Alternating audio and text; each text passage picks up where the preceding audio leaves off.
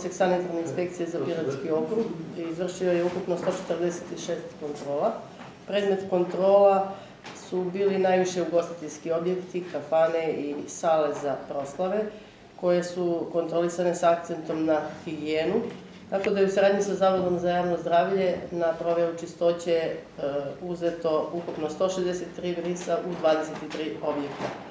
Prema analizama koje su do sada završene, u četiri objekta je bilo neispravnih briseva, pa će u tim objektima biti izrečene kaznene mere. E, osim ugostiteljskih objekta, u novembru mesecu smo kontrolisali i objekte za vodosnabdevanje e, stanovništva, znači snabdevanje stanovništva vodom za piće u celom Pirotskom okrugu, zatim e, zdravstveni objekti, ambulante, bolnica i trgovine na malo hranom i predmetima opšte upotrebe.